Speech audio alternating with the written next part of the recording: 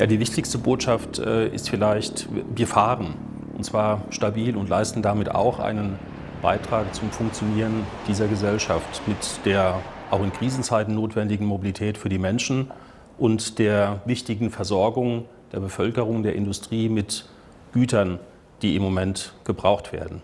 Und dass wir die Dinge so gut am Laufen halten, hat vor allen Dingen damit zu tun, dass unsere Mitarbeiterinnen und Mitarbeiter in diesen Tagen mit hohem Einsatz, mit großer Verantwortung und mit bewundernswerter Leidenschaft ihren Dienst verrichten. Und dafür würde ich gerne an dieser Stelle mal Danke loswerden.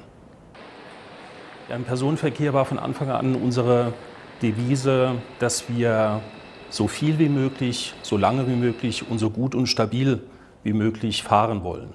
Und dieses stabile Grundangebot fahren wir im Moment mit einer sehr hohen Verlässlichkeit im Fernverkehr etwa 75 Prozent des normalen Angebots und im Nahverkehr in enger Abstimmung natürlich mit den Aufgabenträgern in den verschiedenen Bundesländern etwa 65 Prozent eines normalen Fahrplans. Ja, im Fernverkehr sehen wir im Moment ein Nachfrageverhalten unserer Kunden, das auf einem Niveau von etwa 10 bis 15 Prozent äh, zu vergleichbar zu normalen Zeiten äh, liegt. Äh, und im Nahverkehr liegt es etwa, regional natürlich verschieden, etwa bei 15 Prozent gegenüber einem normalen Fahrplan und einem normalen Angebot.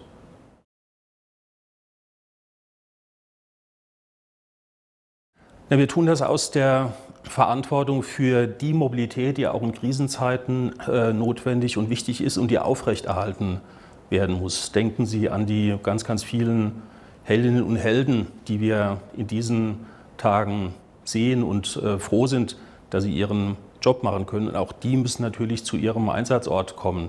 Ärztinnen und Supermarktkassierer, Polizistinnen und äh, Pfleger, all diese Menschen, denen wir im Moment in diesen Krisenzeiten so viel verdanken, müssen natürlich auch Mobilität sicherstellen. Und dazu wollen wir und möchten wir und werden wir einen Beitrag leisten.